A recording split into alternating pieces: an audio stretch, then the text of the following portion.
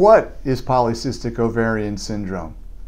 This is Dr. Wilshire. Welcome to our second installment in our PCOS series for September. Polycystic ovarian syndrome is not a disease. I can't tell you how many women come to me upset, crying, uh, just, just tremendously upset that they think they have a horrible disease. Polycystic ovarian syndrome is not a disease. It is a cluster of traits that we call a syndrome. People that call it a disease do not understand the syndrome. Now, there are downsides to polycystic ovarian syndrome. Irregular periods, acne, weight gain, hair growth, infertility, these all seem like downsides.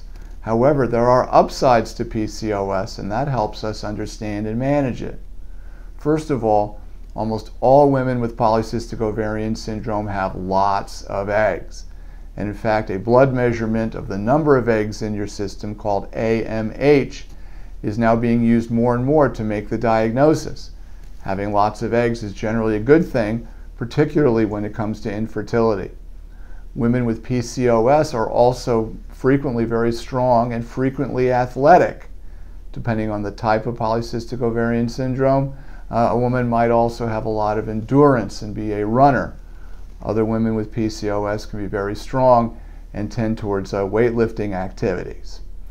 Now, if polycystic ovarian syndrome caused infertility, the genes for PCOS would have been eradicated. They would have been gone thousands and thousands of years ago.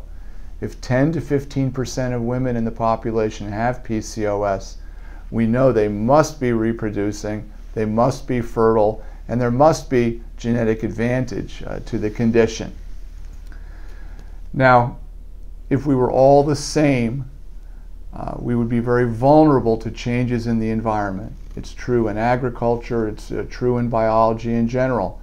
You must have diversity of species to have resilience against uh, various uh, pests, pestilence, uh, famines, droughts, all kinds of bad things that can befall us. If we were all the same, one pathogen, one disease would wipe us all out. It's the same with PCOS. Women with PCOS are adapted to various conditions. Uh, we haven't always lived in modern times. We always didn't have uh, all the food we could eat, uh, which is the case here uh, in the United States most of the time. We had various uh, food sources and we had various activities uh, to procure them. Some women with PCOS are adapted to famine, some to drought, uh, some to moving around a lot. Uh, uh, we'll get into these details more in the following episodes of this series. So please remember, PCOS is not a disease.